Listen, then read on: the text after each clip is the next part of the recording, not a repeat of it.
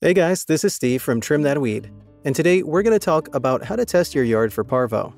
Stick around for tips to help you test for parvovirus in your yard so you can protect your dog.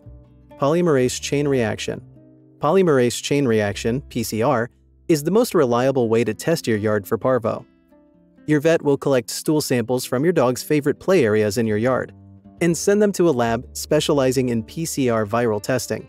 The lab technician will extract, amplify, and analyze genetic material obtained from the sample. You'll get your result in a few days, so be patient. Fecal ELISA test. A fecal ELISA test checks for tiny pieces of the virus in your dog's stool. The premise for this test is that parvovirus attack fast dividing cells in your dog's intestinal lining and bone marrow. As such, your dog may pass some viral particles in its stool. These viral particles, called antigens, react to specific components of the immune system, called antibodies. Veterinarians take advantage of this specificity to determine if your dog has parvovirus. After observing your dog for clinical signs of parvovirus infection, your vet will collect these stool samples and send them to the lab. The lab technician will use these samples to determine if your dog has the parvovirus by testing it against a known parvovirus antibody. A positive result informs the treatment plan.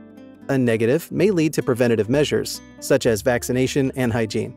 Rapid Parvo Test A rapid Parvo test is the perfect DIY method to quickly confirm your suspicions.